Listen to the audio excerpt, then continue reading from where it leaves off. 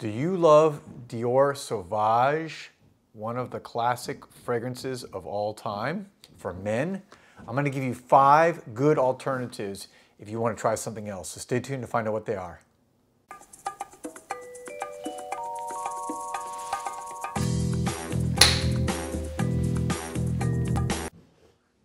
Welcome back everybody to Joel the Nose. And today I'm doing another uh, video in the series of if you like or love a certain fragrance, here are some alternatives. I've done Bleu de Chanel, I've done Spice Bomb, I've done uh, Creed Aventus, and now I'm doing one of the most popular fragrances, right? Uh, designer fragrances of all time. Of course, that would be Dior Sauvage. I get, get the light there, okay, so you can see it a little bit better. I, you know, not like I need to show the bottle. Probably almost everyone out there watching this video has it in their collection. Uh, I've had it in my collection one time. I no longer do.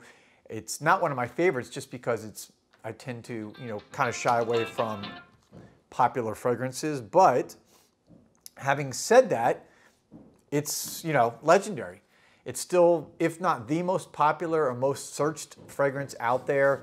For men, people love it. It's fresh, it's versatile. I understand why people love it. But I want to give you some alternatives, and these are going to be mostly niche, uh, but actually, yeah, these are going to be mostly niche alternatives because I like people trying to step up their game. So let's get right into this. This could be arguably niche or not.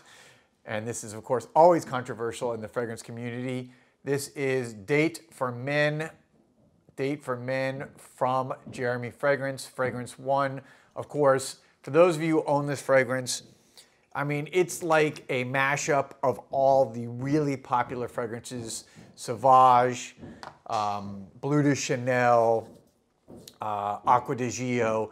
If you really like any of those kind of fresh marine, citrusy, spicy type fragrances, Dior Sauvage, this one is, you know, try it out. If you haven't tried it out, it's a good fragrance, okay? For all the haters out there, it actually, again, if you're trying to get that designer smell, this nails it, and it's great projection, great longevity. My problem has always been on the price. I don't know what it is now. It's always kind of changing, but you know, he runs a lot of um, buy, you know, buy one get one free discounts or half off, or you know. So my my advice is wait till he runs another kind of discount on. Sorry, my phone's ringing off the hook today. So, all right, next I would go and this one's a little bit kind of out there for some of you. This is going to be Philosykos, okay, from the French house Diptyque.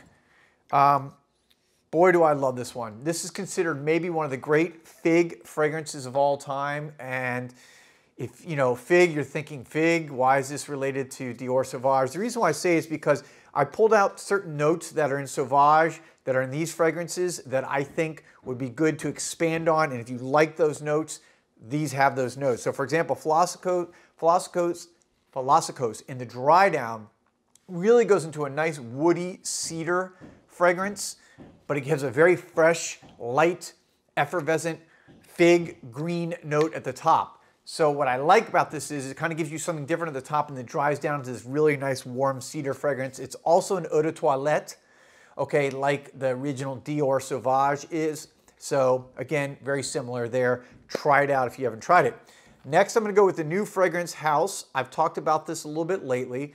This is a fragrance house called, I don't know if you can see it there. I don't think it's zooming in, unfortunately. Well, anyways, you can't really see it. This is pre-production perfumery. And uh, I don't know if you can see it there a little bit better. There you go, a little bit better. Pre-production perfumery. And they have about 40 different fragrances. They haven't even officially launched yet. They're still in beta mode, but you can get a super big discount, 40% off right now. Um, I'll put the code down below. Let me see here, just to tell you guys what it is, um, because I forgot. It is, um, boy, I have to write it down because I didn't write it down before. Anyways, I will put it down. It's like code, oh, it's Joe40, J-O-E, the number 40. I'll put it in the link below too if you do want to purchase something. You can order samples from them too. This is one of their fragrances that just came out. It's called DVI or DV1, depending how you look at it.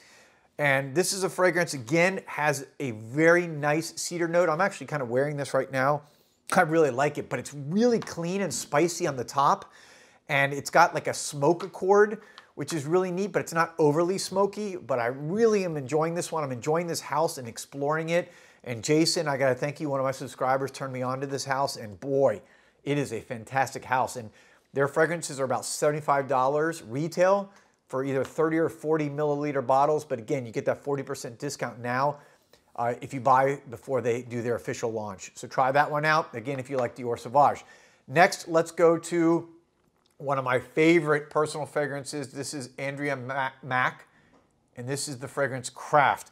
And again, you can see kind of a theme here. I'm going with that cedar theme, which is one of my favorite notes. And cedar is one of the big main notes in the Dry Down or Dior, Dior Sauvage, and it is here in Craft. This has also got a beautiful patchouli dry down, but also at the top it's got elemi, which is a flower I really enjoy, and it's elemi is one of the main components in Dior Sauvage. So I think this is a really good choice for you out there that want to try something different. Um, and smells beautiful on the skin. I call this skin scent because it's not, not the fact that it, it stays close and nobody can smell it. It's that it actually reminds me of the smell of skin, like fresh, clean skin out of the shower, which I, I really enjoy that smell. And lastly, gonna go with one of the classics of all time. This is Eight and Bob, the original. Eight and Bob, the original. You can see I'm getting kind of low here. I'm gonna have to restock uh, this soon. But again, classic, fresh, I call this the gateway drug to designer, I'm sorry, the gateway drug to niche fragrances. It is like, you know, when you're just kind of stepping into the game and you're not sure and you want something fresh and a little bit more kind of a link to the designer world, I think this is a great choice for you.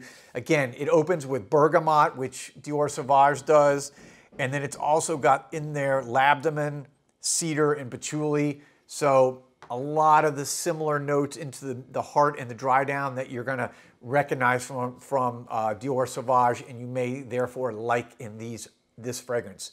So there you have it, my five fragrances to try if you love Dior Sauvage and you're looking to expand your mind and get into the niche world and try different fragrances. I hope you found it useful because that's what my videos are here to do. I'm trying to make them, the content is something that is useful for you, not for me, but useful for you guys watching. Um, if you haven't already signed up for ScentXplore 2021, click on the link below. Only short time left of that early bird discount. And if you haven't already subscribed, please go ahead and subscribe, subscribe to my channel because I appreciate all the support. And I'll be back soon with another video, guys. Thanks, peace, and love.